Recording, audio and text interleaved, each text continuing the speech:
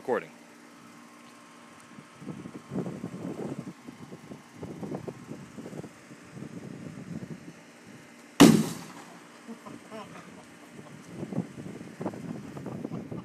And that's how you do it. Good job, Margie. Yes. From the first day.